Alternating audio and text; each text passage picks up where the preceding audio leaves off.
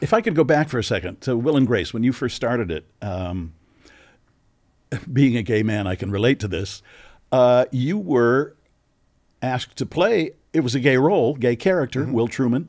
Uh, did you have any reservations? Do you recall at the time about playing Will? Not about that part. No, he, uh, I had played at that point um, probably six gay roles, four of them on television, two of them on uh, uh, on stage.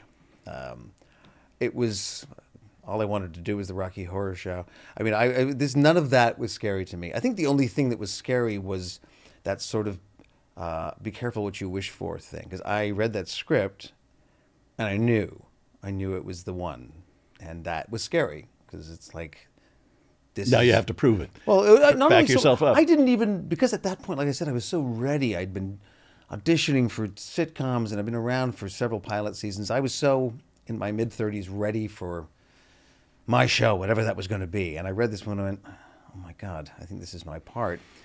But that means you because I, I I'd so flitted about roles for years and years in the theater that this is the one that's going to be on my tombstone. So I I better like it, and I, I loved it. I mean, the thing about it that, that scared me that I might be um, an icon in that or for that community is, is actually the greatest fringe benefit of, of it's a it's one of the great privileges of my life. We're very loyal. Well, you are you are, but you didn't have to be. That's the other thing too. I, I think that scared me is it's a bigger deal now than it was then. People didn't necessarily expect that a, a, a gay man would play have to, have to play a gay man, nor did we expect straight guys to play straight roles.